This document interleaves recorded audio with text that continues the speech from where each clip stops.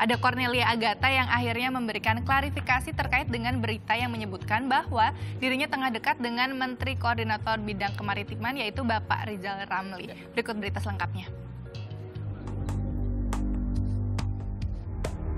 Maraknya pemberitaan di media online yang menyebutkan Cornelia Agatha memiliki hubungan spesial dengan Menteri Koordinator Bidang Kemaritiman Indonesia, Rizal Ramli, memang mengundang banyak pertanyaan dari masyarakat tentang kebenaran berita tersebut. Setelah sebelumnya sempat muncul berita yang menyebutkan bahwa Cornelia Agatha belum bisa memberikan jawaban apa-apa, akhirnya kemarin saat ditemui oleh sejumlah awak media, wanita yang akrab disapa Lia ini mengklarifikasi perihal pemberitaan tersebut. Kenal sudah lama sekali, kenal sudah lama sekali, oke? Okay?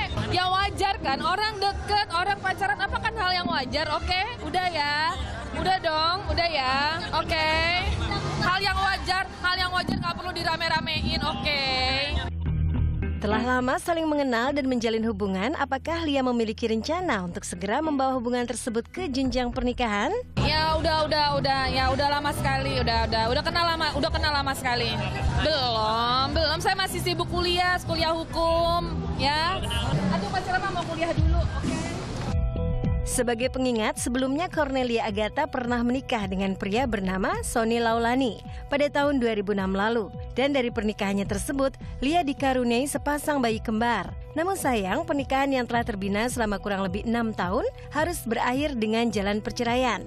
Cornelia dan Sony pun resmi bercerai pada tahun 2013. Dan untuk hubungan yang kini tengah dibinanya tersebut, mari kita doakan saja yang terbaik untuk mereka ya good people.